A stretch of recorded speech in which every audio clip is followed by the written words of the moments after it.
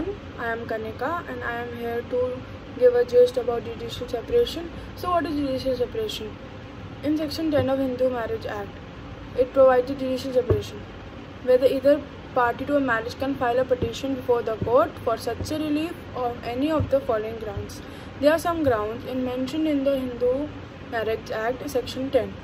So, the grounds are the authority has voluntary sexual intercourse with any person other than his or her spouse after solemnization of marriage, that the party has solemnized of the marriage to the spouse with cruelty, that they have some, done something wrong physically, cruelty is being done, uh, that the party had deserted the spouse for a continuous period not less than two years immediately preceding the presentation of the petition. The party has ceased to be a Hindu by conversion religion. He has converted to another religion. He has been deserted. That he have left everything. The party has been incredibly of unsound mind. He is not sound mind. He is not physically able and suffering from continuously infinitely mental disorder such a kind to such an extent that a petition cannot reasonably expected to live with the other party. So person mentally insane cannot live with another party because you know that the next person is doing something wrongs and he will hurt her but the other party has been suffering from a virulent, incurable form of leprosy. The prop it is a problem. Leprosy is a problem. He is facing that. The party has been suffering from vulnerable disease in form. Vulnerable means that transferable disease which can be shifted when touched. The party has renounced the world entering the religious order. That he has changed the religion. Okay. Now last round. The party has not been heard of a being alive for a period of seven years or more than a person who naturally have heard of him had the party been alive.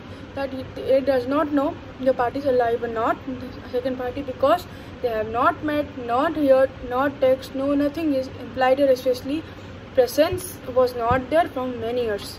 So this is judicial separation last ground. So but if we go in depth definition what is it?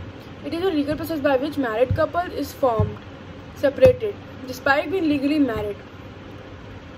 It is often known as a divorce from bed and board. It is type of divorce, but it is not divorce. It, have, it is different from divorce. Separation is in the form of court order. The court has given this information, and these is legally. Everything is legally. However, that a separation is not granted for any reason. The couple differences are incurable. They may, it is not a specific reason. Maybe their differences are incurable.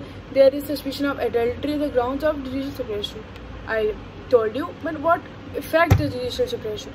It is in the same as divorce, but it has a similar effect with respect to enhancing new contracts.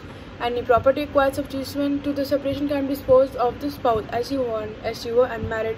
Similarly, the spouse died and said the property would be disturbed among his heirs exactly as if husband and wife were already deceased. That the person effect क्या हुआ same नहीं होता divorce से but ये new रिश्ते बनाना चाहते हैं मतलब रिलेशनशिप बनाना चाहते हैं। कोई प्रॉपर्टी ख़त्म हो गई है तो उसको लेना चाहते हैं, या फिर डेथ हो गई है, या फिर सेटल नहीं हो पा रहे हैं properly so they are these were some ground okay now here they are in this section ये wife has been entitled some relief for duration following some two additional ground which are that the husband has since solemnization of marriage been guilty of rape, sodomy, bestiality. That the that the woman has a right that if a man has done guilty of rape or sodomy or bestiality or bigamy, so he is will be liable. This relief is given to the woman. Degree of order has been passed against the husband, awarding the maintenance to the wife under Section 18 and Proceeding Section 125 CRPC, since the passing of degree order, cohabitation input has been not even for one year upward. The problem is here that there is no maintenance awarded, that cohabitation is not occurred for one and years, maybe relationship is affected. That her marriage was solemnized before the age of 8 15 years. It was a forced marriage and it was before 18 years, so it has adapted to the marriage after attaining the age, before attaining the age of 18 years.